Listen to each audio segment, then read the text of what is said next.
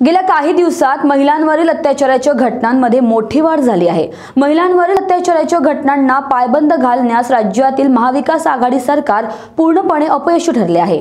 त्यामुळे या सरकारला जाग आणण्यासाठी बारा ऑक्टोबर रोजी भाजपा महिला मोर्चातर्फे देवरी शहरात निदर्शने करून महाविकास आघाडी सरकार विरोधात घोषणा देऊन निषेध नोंदविण्यात आहे यावेळी विविध मागण्यांचे निवेदन उपविभागीय अधिकारी यांच्यामार्फत मुख्यमंत्र्यांना पाठवण्यात आले. राज्यात महाविकास आघाडी सरकार सत्तेत आल्यापासून राज्यातील कायदा व सुव्यवस्था ढासळली आहे. गुन्हेगारीच्या घटनांमध्ये वाढ झाली आहे.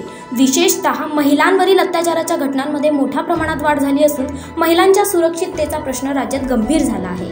कोरोना केंद्रातही अत्याचाराच्या घटना घडल्या आहेत. मात्र या संवेदनशील नसणाऱ्या राज्य सरकारचे याकडे दुर्लक्ष होत असल्याचा आरोप भाजपा महिला मोर्चातर्फे करण्यात आला.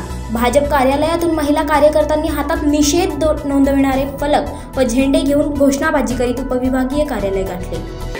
आम्ही भारतीय जनता पार्टी महिला मोर्चाच्या वतीने आज निवेदन दिलेलं आहे.